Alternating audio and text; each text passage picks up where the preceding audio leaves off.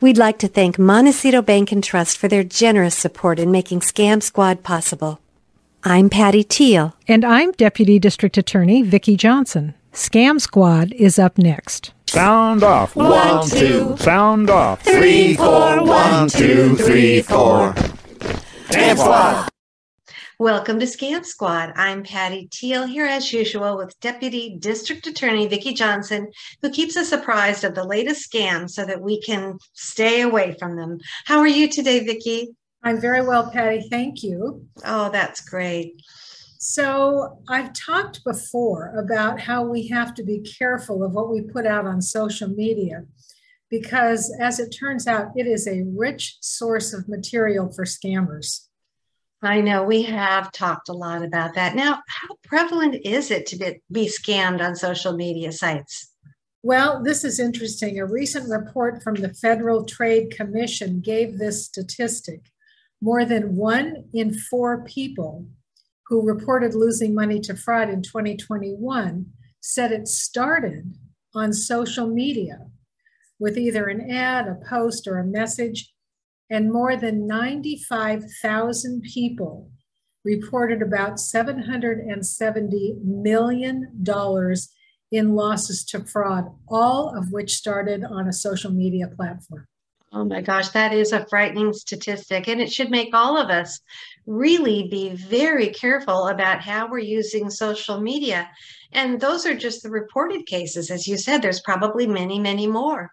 Absolutely. And from the, the scammer's point of view, there's a lot to like about social media. It's a very low cost way to reach billions, billions of people from anywhere in the world. And it's easy to manufacture a fake persona like we've seen in romance scams, which, by the way, are the second most profitable fraud on social media. So, according to this article from the Federal Trade Commission, losses to romance scams have climbed to record highs in recent years. And Patty, based on the phone calls I'm getting here at the office on my fraud hotline, this scam isn't going away anytime soon. And that is such a particularly heartbreaking scam where people feel so embarrassed and foolish. It just can be devastating. Um, and then I remember back to the case with uh, our guest, Judge Eskin, when a scammer hacked into his email account and posed as his friend asking for money. And in his case, the scammer even knew his daughter's name. So it really seemed legitimate. So, Patty, I said that romance scams were the second most profitable ad for scammers. And this is something we haven't talked about that much, but the first most profitable scams are investment scams, and especially those that involve bogus cryptocurrency investments. Apparently, scammers will use information that people share on social media to target them with bogus ads. So the scammers use things like a person's age, their interest, or their past purchases. Wow, you know, it just seems to me that these scammers are getting more and more sophisticated. And because they're getting more sophisticated, it's harder to spot them, which makes them all the more dangerous. That's right. And it's when I'm thinking about this, uh, whenever I purchase something on, you know, any kind of a site, what pops up immediately are a million different ads for that same kind of product. So clearly somebody's watching what it is I'm doing on, on these various sites. So, Patty, here's something else that I found interesting. We often talk about how scams target seniors, but according to this FTC report, people ages 18 to 39 were more than twice as likely as older adults to report losing money to these scams, and this is in 2021. Yeah, so it is obvious that everybody needs to be wary of scams, not just seniors. I have a theory that it's because the younger generation is online so much more, but I'm I don't know if that's the case. But anyway, we all have to be careful. Absolutely, and I'm sure that that's really a factor, Patty, because they're so comfortable with being online and the internet. They don't question that somebody could be not telling the truth. Right. So, um, another interesting fact while investment and romance scams top the list in terms of the amount of dollars lost, the largest number of reports came from people who were trying to buy something that they saw marketed on social media. Yes, uh, like the victim that you were telling us about who was trying to buy car parts, only the car parts never came. That's right. And this is typical. 70% of the people who reported this kind of scam said they placed an order, but they never got the product. And when they were asked where they saw these products advertised, they said Facebook or Instagram. So I recently heard a very scary story about a fake kidnapping where the scammer obviously used information that he got on social media. And Vicki, I really believe that those fake kidnapping cases are the most frightening of all. And what we've been hearing is that these frequently happen to victims who either live in Mexico or who have relatives who live in Mexico. And remember, real kidnappings are not that uncommon in Mexico. So it makes sense that that's where these scams would occur because it has a basis in reality. So here's what happened in this case my friend's mother in law, who lived in Mexico, got a phone call supposedly from her niece, very frightened young person, saying that she had been kidnapped and she needed her aunt to pay ransom. Now, here's where social media comes in. The niece had a special nickname for her aunt. And when the scammer called, the scammer used that nickname to address her aunt. And it was not a common nickname, it was something only the family would have known. That must have made the scam seem very believable. And as you mentioned, kidnappings are not all that uncommon in Mexico. How very frightening. Also, this is interesting. The victim was wealthy, making it more likely that she would be able to pay the ransom. So it makes sense that she was targeted. The scammer probably knew this. And finally, the scammer's voice sounded just like the voice of her niece.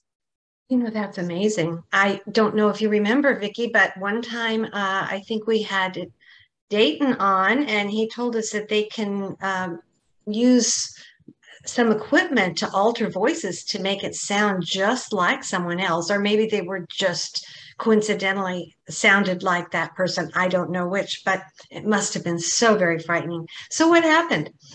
Well, another family member thankfully was present when the phone call came in, and that family member was suspicious. So she called the niece on her own phone, and thankfully the niece answered and was with her mother baking cookies. What a relief. Oh, and so, what should someone do if they get one of these scary calls?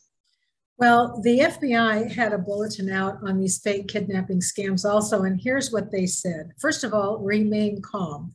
Easier said than done when your heart starts beating like crazy and you're just terrified that it really is a, a relative. But they, the FBI suggests that you try and get as much information from the scammer as possible, including a phone number if you can.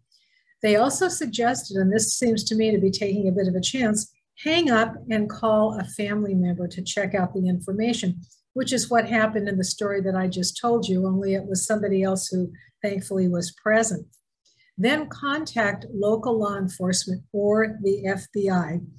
But if you're convinced that you really do need to wire money, talk to your local bank and tell them what's going on and see what suggestions they might have. And I know firsthand how scary that can be because uh, my daughter was told that I was kidnapped a few years back and she was scared to death.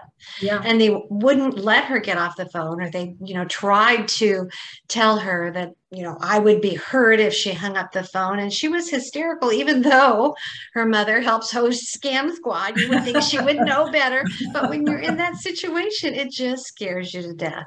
That's right. And this is what the scammers count on that they're going to mm-hmm. terrify you. All of a sudden, all of your reason goes out the window and you're operating from pure emotion. And that's the place that they want to get you into. Absolutely. Yeah. Well, thanks. That's such a great reminder because unfortunately, I think we're making a dent where people know about these scams, but unfortunately, they're just not stopping. They're just growing. More and more people are trying to perpetrate them. So our best defense is just to know what's going on so that we don't fall for them. Absolutely. I I sort of was happy to hear that the older generation were not the ones getting scammed most often.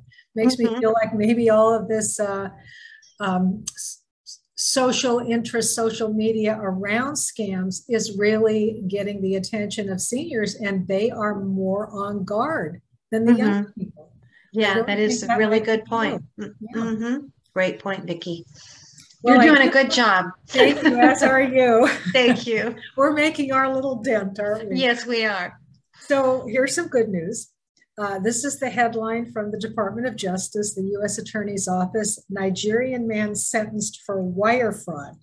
Now, this was a guy that um, was scamming a lot of people here in the United States, but what he did, he and his co conspirators who were working out of um, Nigeria were able to hack into a couple's email account. And here's what they did. I found this interesting. They were watching the account for a while. They were watching the email account to see what was going on with this couple. And they discovered that this couple were in the middle of a real estate transaction. Oh, So they sent an email pretending to be the seller, asking the couple to use alternate wiring instructions when making a payment for the property. And ultimately, of course, they were directing the money into one of their accounts, not the account that it should have gone into. So, unfortunately, this couple fell for it and um, they sent a seven, $700,000 wire transfer to the scammer's account. Now, this couple must have alerted the FBI very quickly because the FBI was able to track this money down and they got everything back except for about $131,000. So that really is the good news. And the better news is that they were able to extradite this scammer who was living in Spain. They brought him back to the United States. Um, they indicted him, they prosecuted him, and he was recently convicted and sentenced for wire fraud. So I tell these stories to really encourage people to please report scams to the FBI. It can make a big difference.